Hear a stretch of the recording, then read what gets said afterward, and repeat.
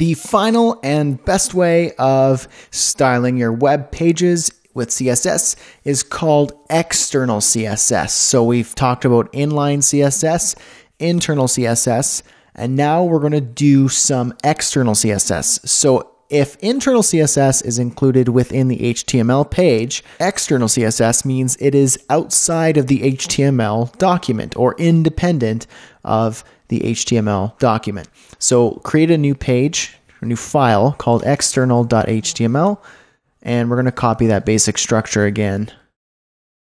Paste it in there and change that title. And what we're going to do now is just add some basic markup first. We're going to add a level one heading and say external CSS.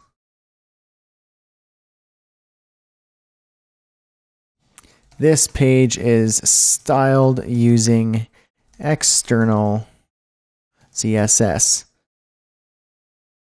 It's the way to go. And I'm going to wrap this external CSS in a strong tag, because why not? And then let's just say another paragraph tag. There are three ways to style a web page. And let's do the ordered list, inline CSS, internal CSS, and external CSS.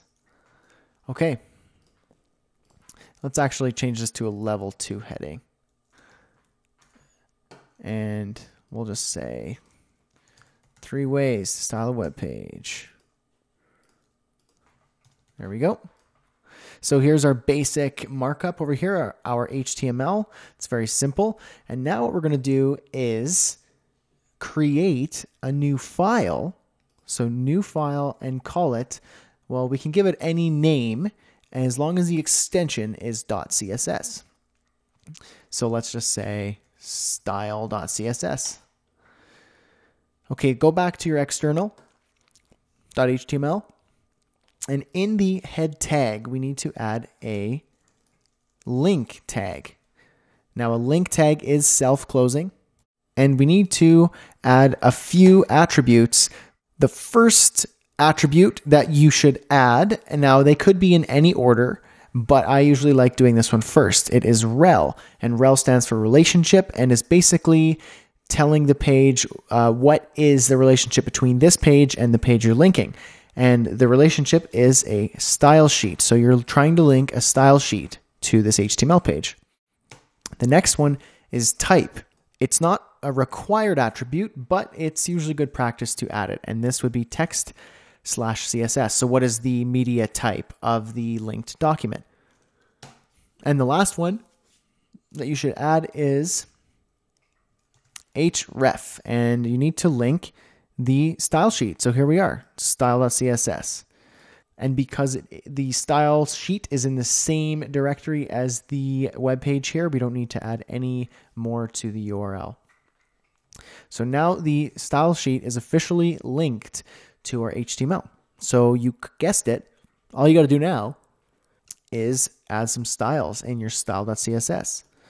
So here we go. Let's start off and say body. Let's go ahead and say the background. Well, let's say background color is, well, let's go for gray. Now, here's a quick note. You can do colors here. You could do straight colors like, uh, well, here's a good one, aqua, or you could do something like orange or olive. But you can also do um, what's called hex codes. And in HTML, they basically look, if you're a designer, you'll recognize these. It's something like this. Or like that. And these are basically just the hex code version of a color. And sometimes the, the, the, the color name, like olive, uh, you want a little bit uh, different of that color. You want something very specific that you say designed in Photoshop, or the brand doesn't match dark olive green or drab olive or whatever the colors are. And you want to actually use the exact code. And that's where you'd use the exact code. And you can get those in Photoshop using the color picker, and that will tell you the th- the six digit uh, hex code, and you can use that for your colors. Now I'm going to say color, and this will be for the actual text. Uh, I'm going to say 333. There we go. Now I'm going to style the level 1 heading and say something like font size 50 pixels, font family, let's say Helvetica, and it's always good to have a fallback. So this is called a font stack. So Arial and then sans serif. Basically what this tells the browser is look for Helvetica. If the user doesn't have Helvetica on their machine, fall back to Arial. If it doesn't have Arial, then just choose any sans serif font that the user has on their machine. That's called a font stack. And now let's uh, let's style the level two heading. Let's give it a similar style. Let's say font size 30 pixels and font family. Let's go for Georgia and then times and then serif. So that's another font stack. What we're doing is looking for Georgia. If they don't have Georgia, fall back to times. If they don't have times, fall back to just any serif font. And because you uh, you have a knowledge of design, you know what sans serif means and serif means. And now we're going to style that paragraph tag up there. And let's just say font size 18 pixels, Want style. Whoops. Style italic. There we go. And then uh, let's style that uh, that unordered list there. Or sorry, that's an ordered list. And we will say margin 20. And that's giving margin on all sides there. And then we'll say padding 20. And padding on all sides. And let's give it a color too. Why not? White.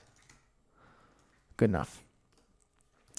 There we go. So now we have our external CSS right here, totally separate from the external.html, but it is linked right here in the head tag with the link tag, and it is linked up to our style sheet. And now we could do anything in this style sheet to style our entire web page. So that's the basics of CSS and getting everything linked up. Remember, you should always use external CSS whenever possible, which is almost always and you should try and avoid using inline or internal CSS simply because it is not best practice. Now we're going to move forward into some more CSS. We have a lot more to cover, so hang tight and see you soon.